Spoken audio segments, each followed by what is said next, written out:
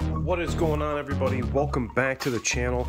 I have an 11 through 16, and this customer is complaining that the trans has a harsh 1 2 or 3 2 downshift, upshift coming out of this 6R140.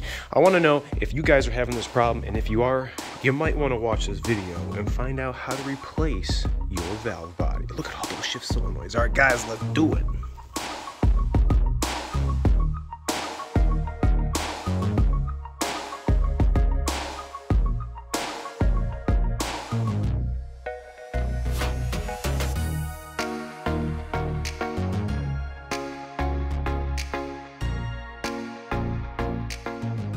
All right, everybody, thanks so much for coming back, checking out another Power Stroke, another new. This is a new to the channel trans servicing. We've done multiple trans drain and fills, but this one is going to be the valve body. Make sure to hit that like and subscribe, and make sure to share our content amongst the Power Stroke community because we're dropping knowledge bombs to keep you guys on the road, keep these trucks on the road because this is what is making our money. All right, I'm going to put a link in the description to the video where I have already gone ahead and removed the pan and the filter when I was doing the transmission fluid filter change. That's going to bring us to a crucial point in this repair because we already have the pan and the filter removed and we're just going to be now looking at the valve body. So let me get underneath here. I'm going to show you exactly what it looks like with no pan and no filter. All right, I've already had this thing draining for a minute. And let's see if I can get this light to stay. Here is the valve body with no pan, no filter. You can see the feed tubes going into the back of it. All that's got to come down. All those shift solenoid connectors, those can kind of be tricky, but we're going to we're going to pop all of those out. I'm see if I can get a clip of showing you how to pop those clips out. But we have a a clip here on the shift linkage. We're going to have to take that rod out of that little shuttle valve thingy I'm describing to you. Uh, but this is it right here, and uh, there's only just a few bolts uh, holding that up uh, once you get the filter down. So um, let me get set up, and we're to get to the next shot. So one of the first things we're to do is try to get all these electrical connectors off. We have a whole bunch of them. Before we do that, one of the easiest things we're to do is remove this shifter linkage from the side mechanism to the valve body. Now there's a little detent, a hole in this metal rod here. We're to pop this tab, just pop this tab, and we're to slide this up just like we did, or just like you saw me do. And then I'm going to slide this rod out, you see it? And it comes out the other end. It's just a big, like a big uh, U. So once that's out, just get that out of the way because we're to reuse that. I'm not to do anything with this clip. You're to notice this is want to move in and out. So you're to be combat combating fluid dripping and parts moving. So just kind of just kind of leave it. I don't know if it's going to come out all the way, but it's going to continue to make a mess. This connector here is your transmission fluid temperature sensor. Got a little tab here. Gonna pull that out. Now we have all of these shift solenoid connectors and all of their mysteriousness. So to pop these out, so what you're gonna do is gonna get your little flat blade screwdriver and you're gonna push right on this button. Well, that one's busted. Doesn't matter anymore now. But push will unlock that tab. Same thing here, this little you can barely see the black part that, that you're trying to press on. Okay, go all the way down. I'm not to number these. They're going to have memory and they're going to only go back in the same, you know, I can't put this one over here. They're all going to be in their same respective locations. getting down to the end.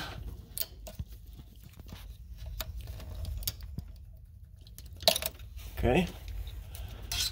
All, all disconnected. I'm going to take this one off too, just so that it's out of our way.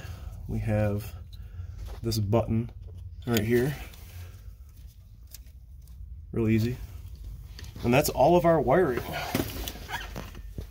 That's it. All the solenoids are disconnected. I'm just gonna get this hung away from me, away from my repair area. Maybe flip it up over the drive shaft. Now this is all submerged in fluid. So this is a continuously wet. Let me get this one out of the way. You guys can see this little tiny harness up here above. Let's get everything out of my way. Again, another little button. Push it out. And uh, I'm going to do this just to get it out, kind of hold it out of my way. I'm just going to set that electrical connector right up in there. It doesn't go there, but I'm just using it as a as a placement. So, all right. So that's pretty much everything on the valve body. And now, when you guys look at this, you're to say like, oh my gosh, look at all these, look at all these bolts. Well, if you guys don't notice, there are two halves to the valve body. Well, a lot of these bolts are holding the halves together. Well, if you look, let me find them because I haven't uh, haven't looked. Let's go look at the new valve body. All right, so here's the new one. We're gonna be here is the placement for the filter. Okay, so that's gonna be your reference point but you're going to be looking for the arrows and the feed tubes. There are some Torx bits holding the feed tube lines in, and we're going to have to take those all down as an assembly.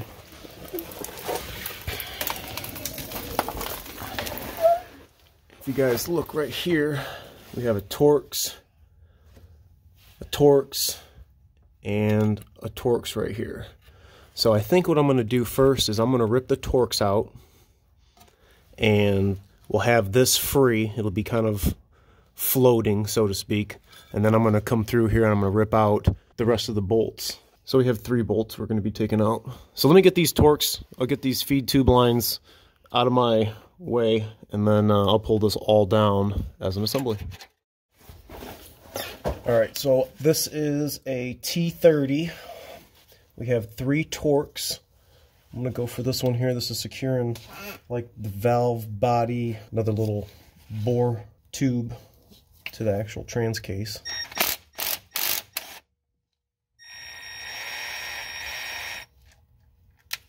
Got it.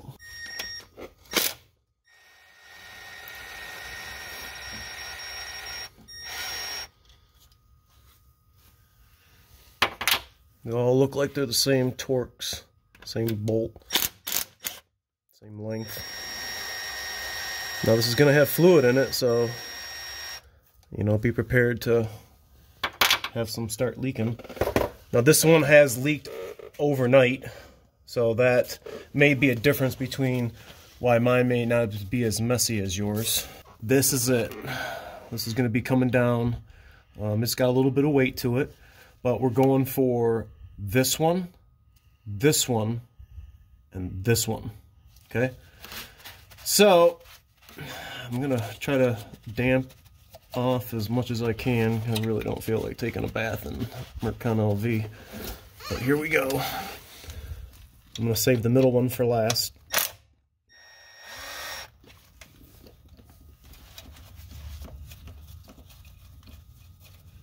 See how long these are. Okay.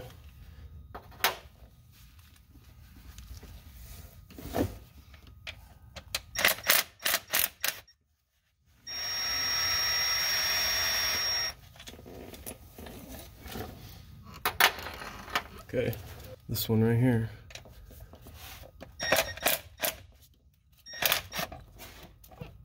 Okay, I'm pushing up. Bolts down.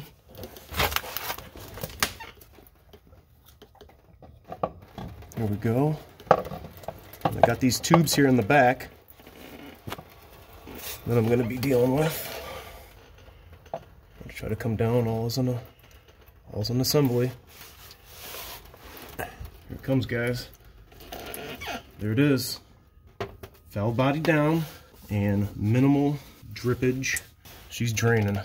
Got a couple seals up here that we're gonna have to pay attention to. Here in the back, we got where these tubes are coming in.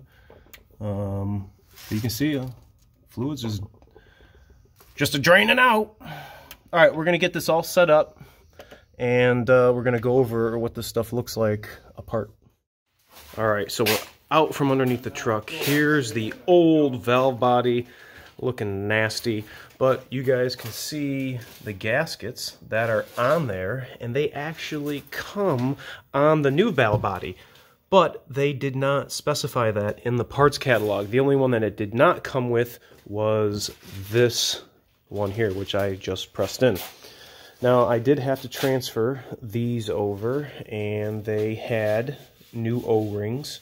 I'm going to put in the description all the parts and rubber O-rings that you're going to need to complete this job. So I've already installed I've already installed one squishy O-ring here and one is stuck up in the trans and I have installed a new one. I'm going to replace all of these. They're, they're different heights and everything. So that's pretty much it. This is going to be ready to be put back in. Uh, let's go look underneath real fast and see what it looks like for installation.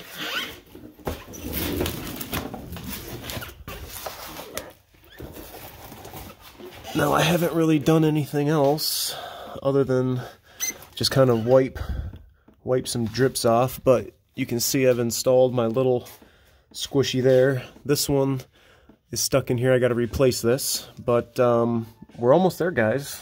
Next step is we're going to be installing this back into the truck. One thing I wanted to point out was there is a sticker in your valve body box and it is going to need to be programmed into the truck. So you're either going to need FORScan or IDS to program this new shift solenoid body strategy into the truck. Note to self, because that needs to happen. You can't convince them any other way, just bullshit. just bullshit. All right, the valve body is in. You guys, it was really no big deal to put in looking at the parts description in the description you guys will see all the squishy o-rings you're going to need and the seals like three bolts holding it on these three right here. And now one of the final things we're going to do is we're going to connect every single one of these shift solenoids.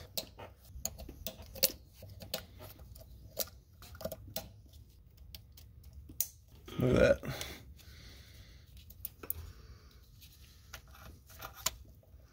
Looks great. We got our TFT sensor. Got that. And then we have our shuttle connection for our park. All right, so I'm gonna stick this in here. Okay, that's how it came out. I'm gonna pull the little shuttle out just a smidge. So I can get it in both of them. Guys see how I have that? And then we're going to slide this down until the detent, if you guys see the detent, see how it's pushing through that hole up there in the metal? You want to make sure that's engaged because you don't want this rod to fall off. See how that's not backing out? Everything's good. Okay, that is pretty much it. We're going to clean up the surface of the trans case. We're going to put our, our new filter in, put on our pan gasket, our pan, fill it up with fluid, and then we will uh, we'll get you in the next shot where we're going to be programming the shift solenoid strategy into the truck. All right, guys, I have the computer all hooked up to the truck and using IDS, which I just got, we're going to now program the trans solenoid ID with a sticker that came in the box. So it's going to ask us a couple of questions. We're going to go to transmission characterization. Here's our 8-digit code and our 13-digit code. Those are the two numbers we got to enter in. So every time you do a valve body or any type of uh, trans work, if you even replace a trans, you're going to have to be doing the same thing, whether it's with IDS, FDRS, or FORScan.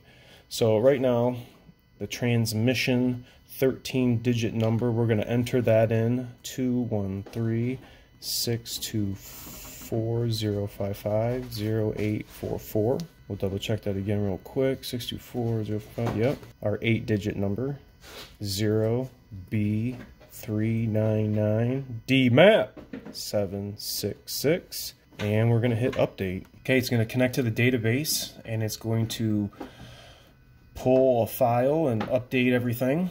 It's going to update the database with the new transmission strategy. So the next thing is to hook the computer up, fill this girl up with fluid, and take it for a ride and verify that the concern is fixed. This repair has been verified with multiple shifting concerns, reverse, park, one, two, two, three. Um, uh, as long as the vehicle is going into all the gears and not making any grinding noise like there's something internal going on and no codes, it's a good assumption that you might have something wrong with your transmission's valve body. Let me know in the comments if any of you guys have ever had to replace your valve body on your 11 through 16 or 17 through 19 and what problems you had. Thanks so much for watching. Remember to like, comment, sub, share, and I'll catch you guys all next time. Don't forget to fill up your juice. See ya!